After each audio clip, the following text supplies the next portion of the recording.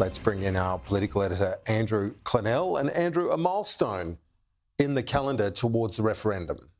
That's right, Kieran. We officially have a referendum on an Indigenous voice to Parliament later this year now. I suspect the vote will be in October. The Constitution Alteration Referendum Bill for the Voice passed the Parliament this morning, not before some passionate words, particularly against the proposal to enshrine the Indigenous Voice Advisory Body in the Constitution.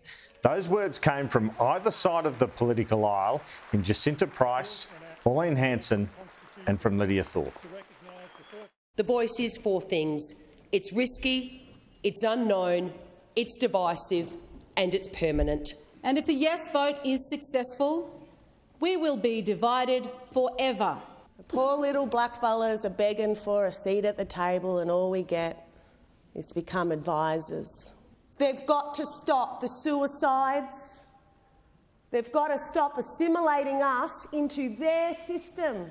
I'm here, yes, I'm here to destroy the white supremacy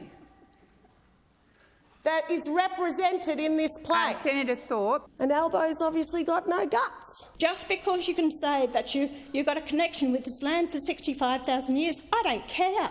Just because you got your cave paintings and, you and your dream time and you have this connection with the land. What about my connection with this land? This is a critical moment in our country's history.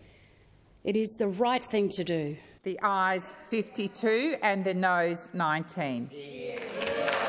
I call the clerk.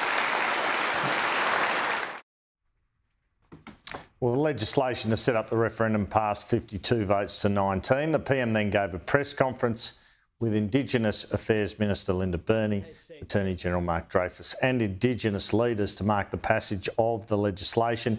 Anthony Albanese's pitch in response to the Senate debate appeared to be back Goldilocks. If people look at the balance of some people saying this goes too far, some saying it doesn't go far enough, I say we've got the balance right. It is just that an advisory body but voice is a powerful word because it will give First Nations people a voice. Getting constitutional change in Australia is a difficult thing to do. They also said that you couldn't win a by election from uh, that was held by the opposition if you were the government. Uh, we did that just a little while ago.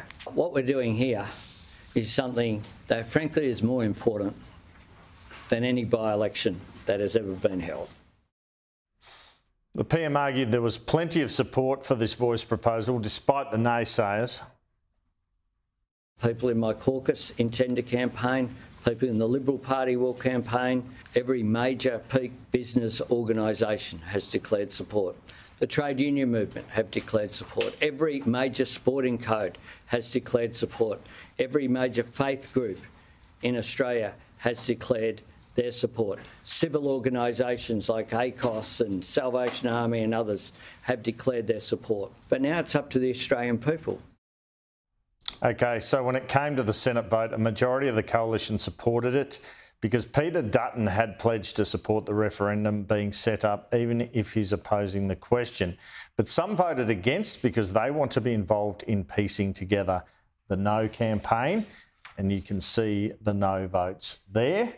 Pauline Hanson, perhaps unsurprisingly, quite a few Nationals, Ralph Babet, Alex Antic from the Libs amongst them.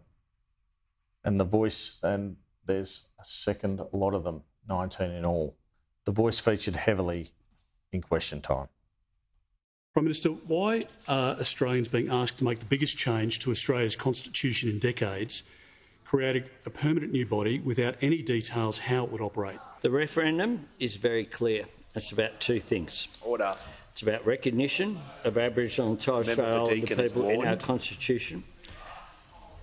And it's about listening to Aboriginal and Torres Strait Islander people on matters that affect them. What areas of public policy will not be within the scope of the voice? If she listened more carefully to the debate, she wouldn't have to answer that Order. question. What I find Order. absolutely the deputy, the leader of the opposition will please objecting. You uh, are Order. throwing red herrings.